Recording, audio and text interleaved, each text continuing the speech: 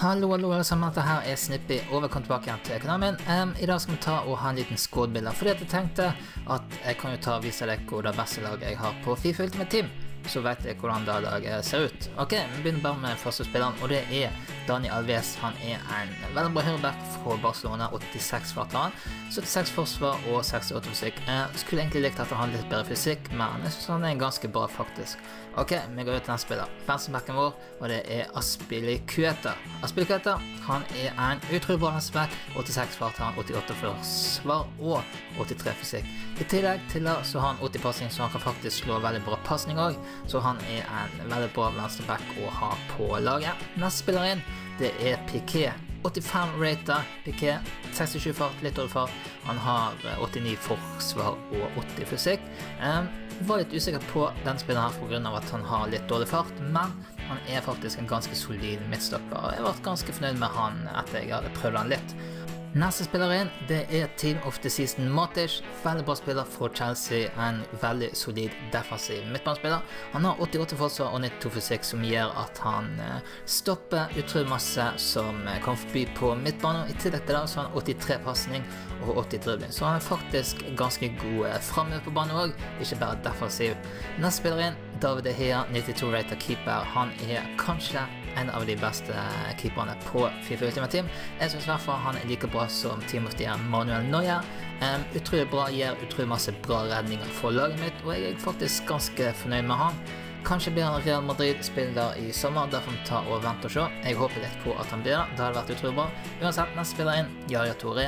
Eh, 88 rater, det er informkortet hans. Jeg hadde lyst til å kjøpe det rosa kortet hans, men eh, så kjøpte jeg dette kortet her før det rosa kortet kom. Derfor har jeg dette kortet her, men det er et utrolig bra kort dette òg. Han er veldig bra framme på banen, og han er veldig bra bakover på banen. I tillegg så har han en frisparkfot som er helt fantastisk, og da får du se litt senere i denne videoen her. Neste spiller inn, det er Team of the Year, eh, Sergio Ramos, og dette her er en fantastisk bra spiller. 94 rate er han, 86 fart, 96 forsvar og 90 fysikk.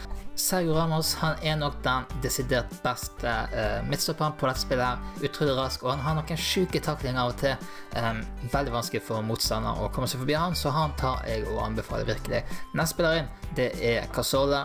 Han spiller på Arsenal, og han er en utrolig bra sentral midtbanespiller. Um, 95 pasninger har han som står veldig masse bra pasninger, og han har 96 dribling.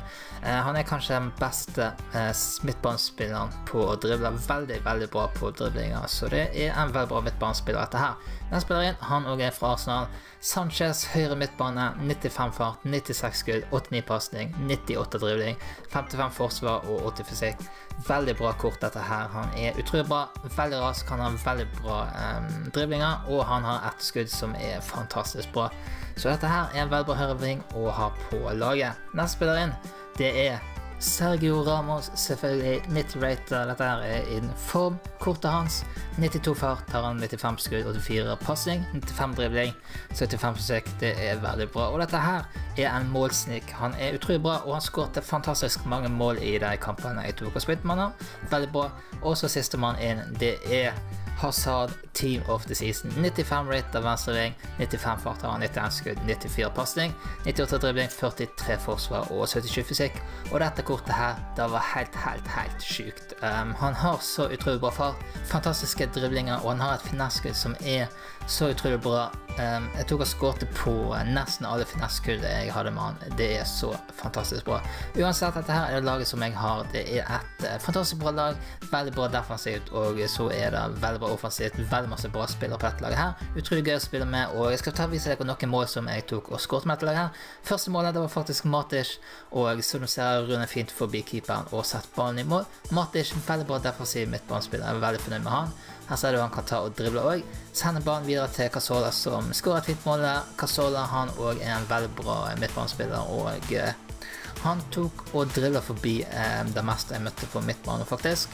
Som du ser her, Jari Toré han tok frisparkene mine, og han har utrolig bra frisparkfot, som du ser her. Banker ballen i mål, keeperen har ikke en sjanse, og uh, veldig bra mål der av Jaja Toré. Som du ser på reprisen her, så går ballen rett over muren og inn i mål. Keeperen har ikke en sjanse til å ta det skuddet der. Nok et frispark. Yaya Toré banker ballen i mål. Han har en utrolig bra skuddfot, og han er faktisk eh, veldig bra eh, midtbanespiller. Han er god både offensivt og han er veldig bra defensivt, så jeg er veldig fornøyd med han i laget. her. Og så er det Hazard med finesseskudd. Her er et finesseskudd som nesten går i mål. Heldigvis så er Aguero der på returen og setter den i mål. Nok en gang så er det Hazard. Veldig bra finesseskudd. Denne gangen så går det i mål, og eh, Hazard han var utrolig bra til å skyte. Um, Finesseskudden hans var utrolig bra, og han er høyrefot, så derfor så er det ganske greit å skyte med han. Her er det driblingene hans også er veldig bra. Som du ser, driver seg forbi tre mann der. Skuddet går dessverre midt på keeperen, men returen klarer han å sette i mål. Så det var et veldig fint mål der av Hazard. Her ser vi noen ganger Hazard tar og driver seg forbi, og så er det finesseskudd. Og den går i mål igjen. Han hadde så sjukt masse bra eh, skudd. Her er noen finesseskudd som går ganske fint i mål. Og så går vi over til Sanchez. Sanchez han er en utrolig rask ving. Han har utrolig bra dribling. Her dribler han seg nesten forbi hele laget. Hazard tar ballen til slutt og setter den i mål. Men som du ser, Sanchez han er veldig bra til å drible og har et utrolig bra skudd. Her ser du nok en gang Sanchez tar og veldig bra skubbturen her og setter ballen i mål. Han var veldig bra til å drible. Her er nok en gang eh, Sanchez skubbturen, og så banker han ballen i mål. Sanchez han var veldig bra, veldig rask, og han har utrolig dribling. Men som du ser her, så har han en utrolig skudd og når han kommer i rett posisjon. Banker ballen i mål der. Loris, stakkar, han har ikke en sjanse til å ta den banen der. Som vi ser på turen. Nydelig skudd, og den banen går høyt over keeperen. Veldig bra skudd der av Sanchez, og når du kommer på rett posisjon med Sanchez, så har han et utrolig bra skudd. Her ser du han er utrolig bra til å drible og drible seg forbi en eh, tre-fire mann her, før han setter ballen fint i mål. Så han er veldig bra til å drible og veldig rask, og han har veldig bra skudd, så jeg er veldig fornøyd med han. Og så er det siste mann på laget her. Aguero han var veldig bra. Han skåret de fleste målene mine, og som skjer her, så er han veldig bra på speed-dribling. Um, driver seg forbi uh, folk. Bare går Han har utrolig bra fart, og han er utrolig vanskelig å stoppe for motstander. Her nok en gang driver seg forbi, og så setter han ballen i mål til slutt.